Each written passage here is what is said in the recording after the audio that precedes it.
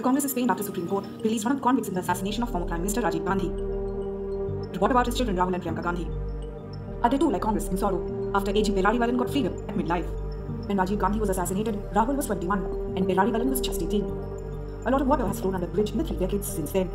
The Gandhi siblings have on none of times spoken about the pain and the road that has led them to forgive their father's killers. It was their mother, Sonia Gandhi, who first walked on the road to forgiveness. There are seven convicts in the case, and one of them is Nalini. The year was 2000. Sonia had just started to establish herself as an assured Congress leader, and Nalini, who was pregnant at the time of Rajiv's assassination, was pleading in the apex court to save herself from walking the gallows. She lived as her death sentence was commuted to life after Sonia petitioned the court for the sake of Nalini's daughter born in jail. Eight years later, an elusive Priyanka triggered a flutter as the press reported that she had met Nalini in Vellore jail. Priyanka reportedly asked Nalini why she had killed her father. Jail authorities heard the urges of both the women, but not the answer.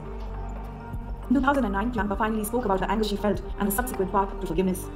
When LTTE chief Prabhakaran was killed in the same year, how must have Rahul felt? He spoke about those very feelings in 2018. In Singapore, Rahul told a gathering he had seen images of Prabhakaran on TV lying dead. Two feelings engulfed him. I got two feelings. One was why are they humiliating this man in this way? And second was that I felt really bad for him and for his kids, and I did that because I understood deeply what it meant to be on the other side of that thing.